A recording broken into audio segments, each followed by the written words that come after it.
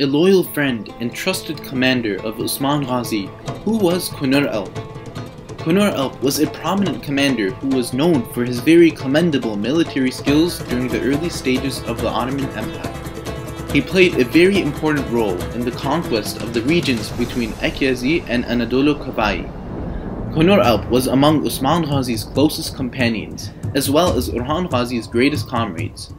Nevertheless, what do we know about the life of Konur Alp?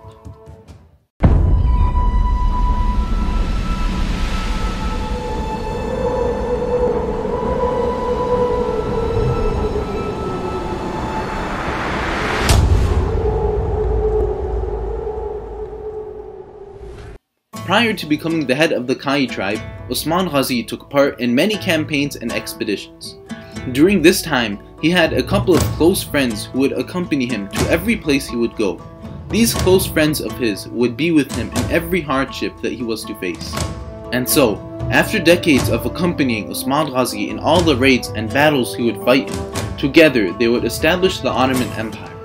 These close comrades of his were Turgut Alp, Samsa Chavus, Abdurrahman Ghazi, Aykut Alp, Seltuk Alp, Hassan Alp, Akçakoça, and of course Konur Alp. And so, these loyal companions of Osman Ghazi would soon become the most significant commanders of the Ottoman Empire, and would conquer many faraway lands together. It was around this time that Osman Ghazi would send his fellow comrade, Konur Alp, to conquer the regions surrounding the Black Sea. During this campaign, Konur Alp would conquer areas such as Akyazı, Menin River, and Mudurnu. These areas were soon to be named after him as Konur Alp Township in Düzce Province, Turkey. However, after the death of Osman Ghazi, Konur Alp would also become one of Orhan Ghazi's most trusted commanders. And so, Orhan Ghazi would send Konur Alp along with Akçakoça to accompany Abdurrahman Ghazi during the great conquest of the Aydos castle.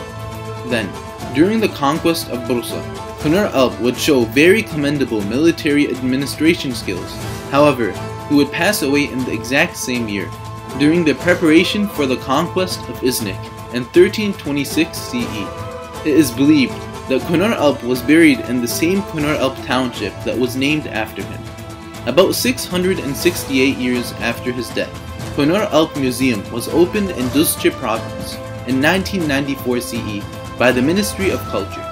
The opening of the museum indicated Turkey's love and respect for the early Ottoman hero, and today, people from all around Turkey come to visit the grave built outside of Ertuğrul Ghazi's tomb in honor of the great warrior, Konur Alp.